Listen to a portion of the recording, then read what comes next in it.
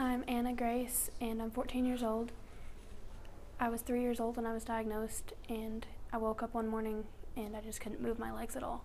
I dragged myself around the floor for a few hours, and my parents decided to take me to the doctor. But um, my arthritis sucks because I'm deprived of being a normal teenager. I can't do the things that normal teenagers do. I can't do cheer. I can't do dance. I can't be part of any teams without it hurting me. And my hope is that they find a cure for this so that other teenagers don't have to go through this, or little kids even, because I know it's hard for even little kids to get bullied at school.